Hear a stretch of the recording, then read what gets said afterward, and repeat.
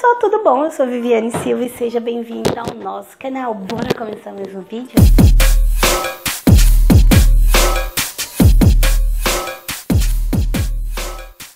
Bom, gente, o vídeo de hoje é pra falar sobre o meu piercing na cartilagem, que é o L, eu acho que é essa bala. Se eu tô falando errado, tudo bem, porque eu não sei muito bem. Então, releve.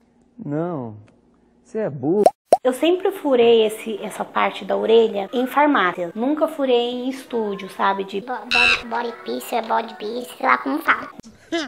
Tudo errado. Não furei nesse tipo de lugar. E toda vez que eu furava na farmácia, toda vez inflamava. Não foi uma, duas, três, quatro, cinco vezes, não. Foi diversas vezes, mais de dez vezes. Sério, eu não tô mentindo. E todas as vezes era sempre a mesma coisa. Inflamava e eu cuidava e não adiantava, eu tinha que tirar o piercing. Foi muito dinheiro jogado fora, estava muito. E eu seguia todas as regras que eles pedem. Na farmácia eu não pedia, mas eu sabia porque eu já tinha furado o piercing, né, várias vezes. Então eu sabia qual eram os cuidados que eu tinha que ter. E mesmo assim, inflamou, mesmo assim, deu, deu problema.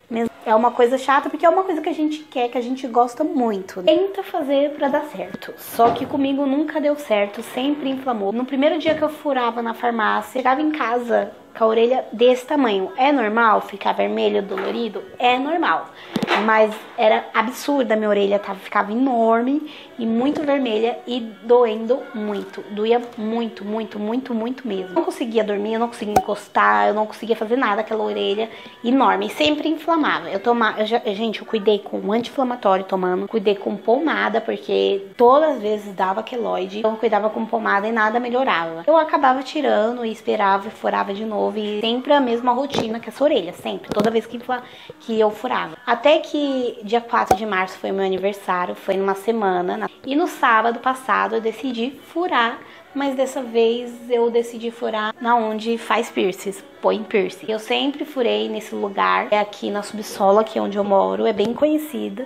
E toda vez que eu faço piercing lá, é muito difícil inflamar. E também depende muito da pessoa que vai furar em você. Furar no lugar certo, tem que ter agulhas descartáveis, tem que ser uma pessoa super confiável. Eu fui não é barato, né? Foi 50 reais uma, o piercing com a joia. Só que a joia não é uma joia que tem brilhinho nem nada. É uma joia simples que parece um brinco. E os piercing que é mais caro é os que era mais bonitinho. Só que eu não quis furar com mais caro. Depois eu troco a joia e tal. Não doeu. Eu vi muitos vídeos no YouTube que dói e as pessoas choravam e tal. E eu fui psicologicamente preparada pra isso, que ia doer. Só que chegando lá eu não senti nada. Claro que eu senti, assim, um belisquinho, mas não é nada assim que eu ia desmaiar, que nem o septo, que eu quase desmaiei. Esquita, calma. Calma, calma. Não balance não, viu, Maria Luísa? Eita, eu balanço.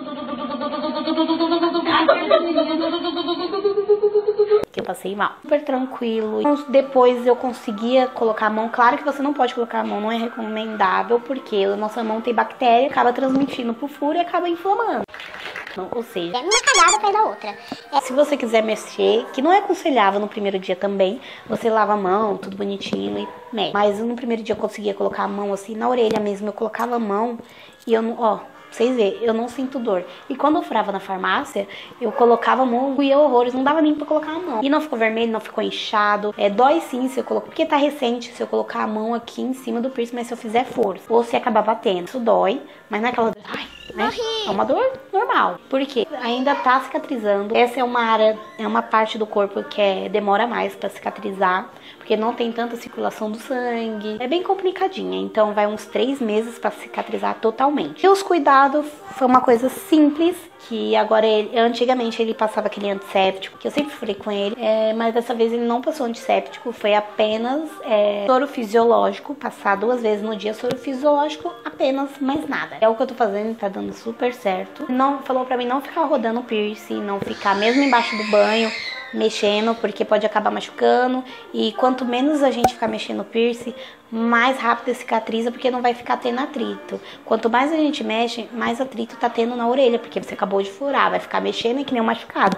Se a gente tem um machucado, a gente ficar mexendo, vai piorar o machucado, né? Então ele pediu pra não mexer. Uma coisa que eu tô amando, gente. Eu vou. Olha aqui, eu vou furar mais, eu vou colocar aqui o exemplo da orelha que eu quero, tá? Mas esse foi o primeiro, ó. Essa é a joia. Né? Que, que eu percebi? Muita gente fala, furar com a pistolinha em farmácia acaba deslacerando a nossa orelha. Eu acho que foi isso que toda vez que eu furava na farmácia, nunca cicatrizou por conta disso, porque ela acabou ferrando a minha orelha. Com catéter não, gente, a forma mais certa para furar é com catéter. Até com criancinha, é, tem lá, não sei lá, mas tem lugares que eles furam com caninho e tem um lugar que eu vi, que eu não lembro o nome, mas é bem conhecido, técnica também da pistolinha, mas não é essa pistolinha que a gente usa aqui, é uma outra pistolinha que não deixa a sua orelha toda ferrada. mais fura minha orelha com pistolinha, vou furar sempre lá. Se você já furou em farmácia também, sempre é, dê algum berro, deixa aqui no comentário que eu vou adorar saber. E o que você não pode comer, né? Todo mundo já sabe, que é pelo menos o que ele recomendou: pura, carne de porco, chocolate, coisas gordurosas e, e nada remoso também. Gente, um super beijo, fique com Deus, até o próximo vídeo. Tchau!